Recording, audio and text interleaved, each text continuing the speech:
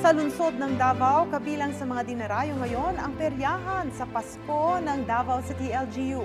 Maliban sa libreng rides ay may hatid din na libreng lugaw ang lokal na pamahalaan doon.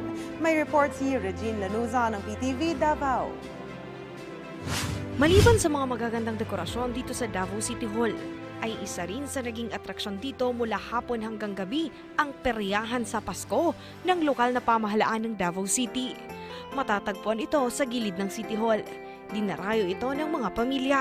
Katunayan, mahaba lagi ang pila ng mga batang gustong sumakay sa mga libreng rides. Si Ray Abule ay pinlano pa ang pamamasyal dito kasama ang pamilya. Pinasa kanya ang kanyang anak sa cup and saucer. Todo video pa siya sa reaksyon. Kitang-kita ang saya ng kanyang anak nang sumakay na ito. Aniya ang kanilang experience ay hindi mapapalitan ng kahit anong laruan. Planado kayo, ma'am.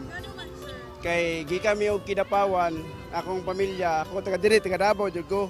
Na ako sa nag-duty sa DCPO. Oh, kanya karon nanganimi diri suroy ko mga anak na kong pamilya na kong asawa. Samantala, ang lolang si Emeline Reynes ay masaya ring pinapanood ang kanyang dalawang apo na nag enjoy sa pagsakay sa carousel. Aniya, dinala niya talaga dito ang kanyang mga apo dahil sigurado siyang mag enjoy sila sa libreng rides. Birthday rin ng kanyang isang apo noong nakaraang linggo, kaya dito na nila ipinagdiwang noong weekend ang birthday nito. Ah, kuang kayo, sulit kayo, kay wala may gasto masig piso, pamasahe lang. Lingaw kaya mga bata.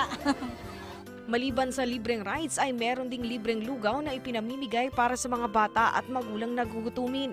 Siyempre, hindi rin mawawala ang paborito ng mga bata na ice cream, popcorn at cotton candy na libre ring ipinamimigay. Hanggang December 31, magpapasaya sa mga Davaoenyo ang peryahan sa Pasko sa Davao City Hall Drive. Regine Lanuza para sa Bayan.